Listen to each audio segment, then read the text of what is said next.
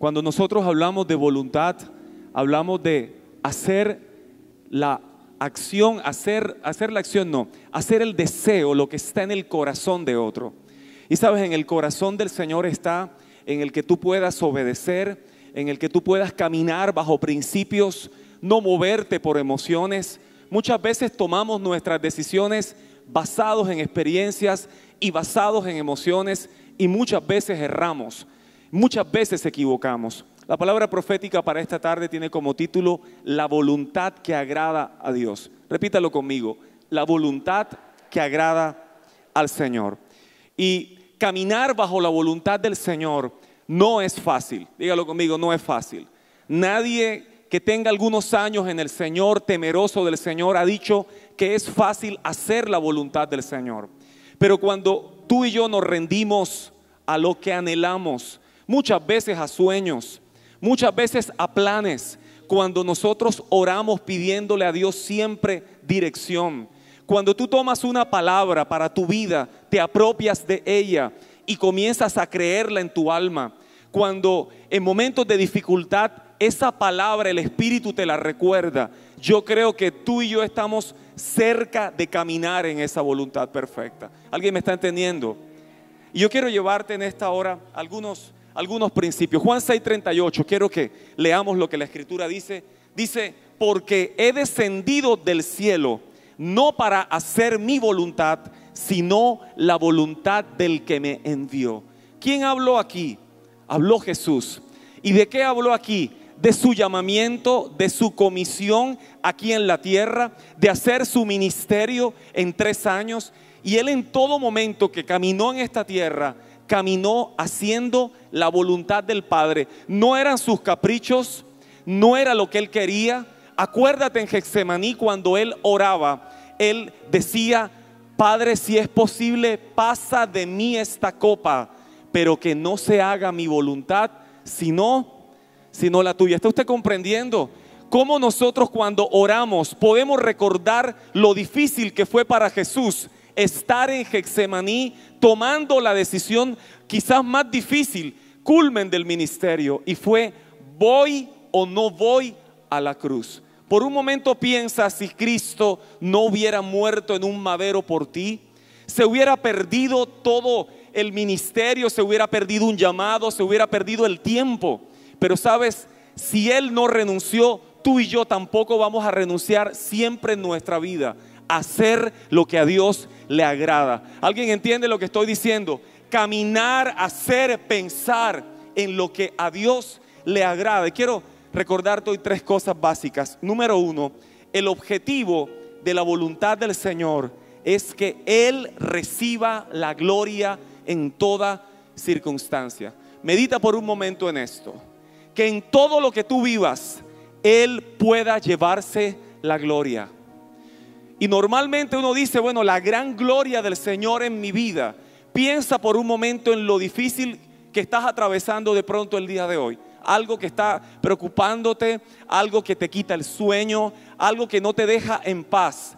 En esa circunstancia, Dios quiere llevarse la gloria. Y es ahí donde está el corazón de lo que, está, de, lo que piensa el Señor. Él quiere glorificarse. Esa es su voluntad. Esa es su primera gran motivación en nuestra vida, que Dios siempre sea glorificado. Dice el apóstol Pedro, ¿has recibido el don de ayudar a otros? ayúdalos con toda la fuerza y la energía que Dios te da. Así, cada cosa que hagan traerá gloria a Dios por medio de Jesucristo. A Él sea toda la gloria y todo el poder por siempre y para siempre. Principio 2. La voluntad de Dios es extender su reino. Por eso el Señor cuando nos enseña a orar, Él enseña a que lo más importante es el reino de Dios y su justicia. Las otras cosas, las demás cosas, ¿qué va a pasar con ellas? ¿Cómo vendrán? Por añadidura. Pero tú y yo muchas veces nos preocupamos tanto por las añadiduras que descuidamos el reino y descuidamos las cosas del Señor. Hoy, a través de esta palabra, el Señor te recuerda que Él es lo más importante.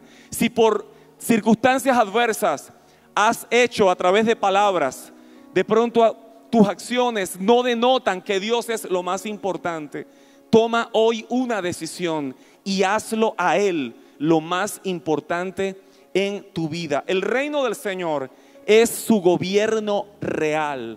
¿Quién gobierna tu vida? ¿Te gobiernas a ti mismo?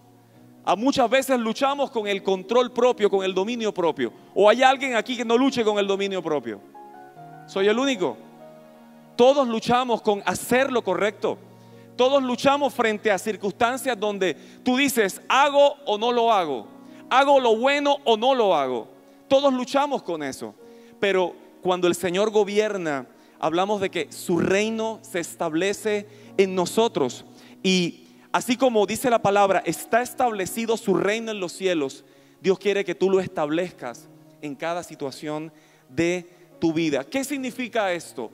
Alineación de mis objetivos, alineación de mis metas, alineación de mis planes a lo que Dios quiere para mí. Y número tres, la voluntad de Dios es que Cristo sea el Señor. ¿Para cuánto Jesús es el Señor? De su vida y de su corazón. Hablar de señorío es hablar de gobierno, es hablar de alguien que manda sobre tu vida, es hablar de alguien que es el dueño de todo en ti. ¿Has sido capaz de entregarle todo a Dios? A veces de palabras se lo decimos, pero nuestros actos no denotan que Él es Señor de tu vida. Y sabes, la voluntad del Padre es que Cristo se enseñore en todo, en toda circunstancia, en tus finanzas, en tus momentos difíciles, Él sea el Señor. El señorío equipara el poder con la autoridad. Esto significa que las autoridades de la tierra, de una u otra manera, semejan o representan ese gobierno de Cristo en la tierra. ¿Te cuesta someterte? Dígaselo con amor al que tiene a su lado. ¿Te cuesta someterte? Muchas veces decimos, yo me someto a Dios, yo me someto a Cristo, yo no tengo problema con el asunto. No tienes problema con el asunto, pero te mandan, a, alguien te manda a hacer algo y automáticamente te da una rabia interior. Automáticamente hay una rebeldía interna dentro de ti. Algo que te dice, ¿por qué? ¿Por qué él o por qué ella me manda? ¿Por qué él o por qué ella me, me dice que yo haga? Quiero decirte algo. Todas las autoridades, dice Romanos 13.1, las puso Dios en esta tierra. Y sabe, es una de las grandes luchas del ser humano. Hablar de que ese gobierno se establece en nosotros, hacer de Cristo el Señor también significa de una u otra manera que las autoridades puestas por Él demanda que nosotros nos sometamos. La bendición de hacer su voluntad, la gloria y el reino, su señorío, son componentes fundamentales para caminar en esa voluntad perfecta del Señor en nuestra vida. ¿Cuántos quieren esta tarde recibir una palabra profética segura? Yo quiero pedirle que se ponga en pie en esta hora, levante su mano derecha y así te dice el Señor a través de esta carta de amor, esta carta que escribió Juan el amado. Y el amado por allá en una isla donde nadie creyó en él, donde estaba perdido aparentemente, Dios le dio una revelación especial. Y mira lo que también escribió. Levante su mano derecha y recítalo junto conmigo. Les he escrito estas cosas a ustedes, te dice el Señor, que creen en el nombre del Hijo de Dios para que sepan que tienen vida eterna. Y estamos seguros de que Él nos oye. ¿Cuántos tienen esa seguridad? Eso. Cada vez que le pedimos algo que le agrada. Y como sabemos que Él nos oye cuando le hacemos nuestras peticiones, también sabemos que nos dará lo que le pedimos. Guárdelo en su alma y déle un fuerte aplauso al Señor en esta hora, iglesia. Toma tu lugar.